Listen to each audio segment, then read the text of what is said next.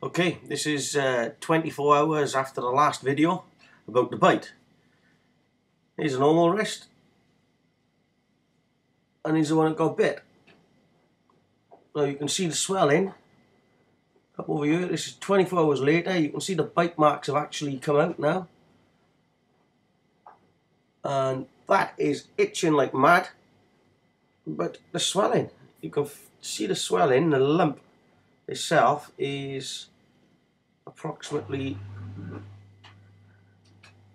two inches. Uh, oh.